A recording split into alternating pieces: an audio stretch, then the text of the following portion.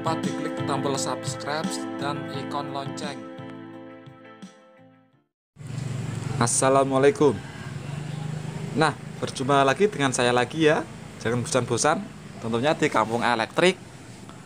Di video kali ini, saya memegang sebuah elko. Di antara elko ini ada yang asli dan ada yang palsu. Nah, teliti dulu sebelum kita membeli di toko. Kita harus lebih teliti karena banyak sekali elko beredar yang palsu. Karena di toko sendiri tidak menyediakan alat ESR untuk pengecekan elko yang asli dan yang palsu. Kita harus pandai-pandai untuk memilih. Jangan sampai terkena yang palsu. Karena akibatnya bisa fatal dengan power anda. Ini saya memegang sebuah elko yang biru. Ini Salah satunya dengan cara menimbang kalau berat sebelah berarti palsu. 90% dikatakan palsu. Ini lihat. Tidak imbang. Ini kemungkinan besar asli.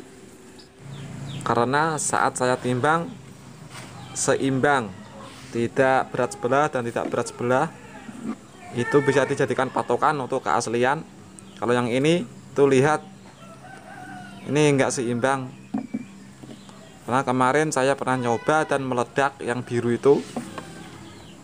Dan saran saya apabila teman-teman membeli elko belilah yang berkapasitas sedang yaitu 6800 mikrofarad 50 volt. Di paralel aja untuk menjaga keamanan keasliannya. Daripada beli yang gede tapi isinya aspal Nah, bagi teman-teman sendiri kan akhirnya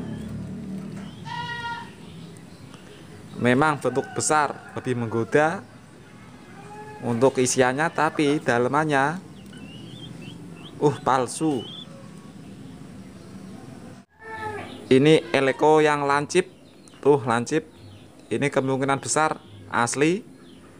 Dan kalau asli kita putar di lantai, maka lihat seperti video tuh nggak bisa langsung muter tapi kayak ada beban.